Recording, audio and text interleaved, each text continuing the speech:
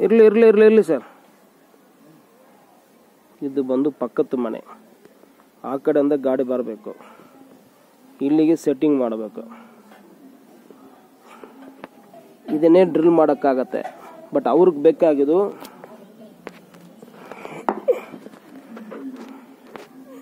ಆ ಜಾಗಕ್ಕೆ ಮಾಡಿಂತಾರೆ. ಆಗಲ್ಲ. ಹಂಗೆ ಅದು ಕಂಟಿನ್ಯೂ ಮಾಡಿದರೆ ಇದು ಬಂದು ನಾರ್ತ್ ಈಸ್ಟ್ ಕಾರ್ನರು ಕಂಟಿನ್ಯೂ ಮಾಡಿದ್ರೆ ವೆಸ್ಟಿಗೆ ಹೋಗುತ್ತೆ. ಇಲ್ಲಿ ಸಂಪ್ ಐತೆ. ಆಮೇಲೆ ಇಲ್ಲಿಂದ ಅಲ್ಲೊಂದು ಬೋರ್ ಐತೆ. ಆಲ್ಮೋಸ್ಟ್ ಬಂದು ಏಯ್ಟ್ ಸೆವೆನ್ ಫೈವ್ ಫೀಟ್ ಐತೆ. Gap five feet seven feet ಐತೆ. ಸಂಪು, ಸಂಪಂದ ಸ್ಟ್ರೈಟ್ ಹೋಗ್ತಾ ಇದ್ವಿ. ಇದು ಹೈಟ್ ಬಂದು ಒಂಬತ್ತು ಅಡಿ ಇದೆ. ನಮಗೆ ಹತ್ತುವರೆ ಬೇಕು.